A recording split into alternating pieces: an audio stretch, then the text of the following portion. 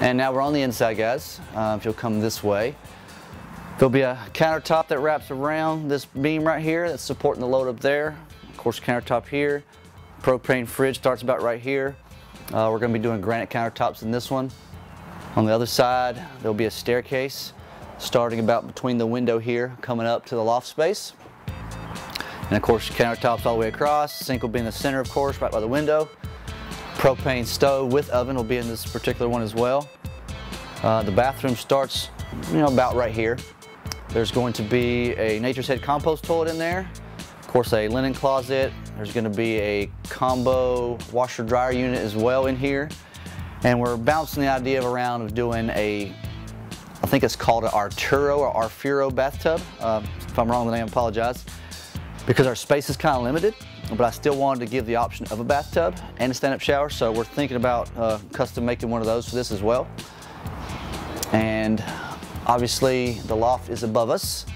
This right now is six foot eight, so it's a good height and plenty of room up there as well.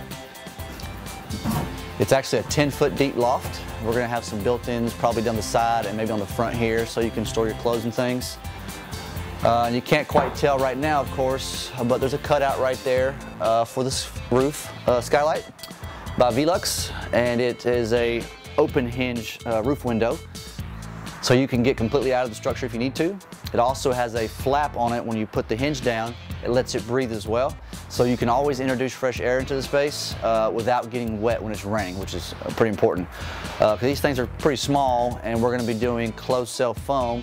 So it's gonna tighten the envelope up so much, you need to find a way to add some fresh air in. So that's the reason we chose that particular skylight so that we can do that, okay?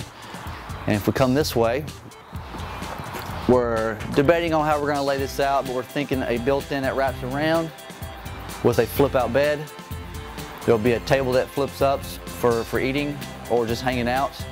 Uh, the wraparound countertop is also designed for that as well for bar stools.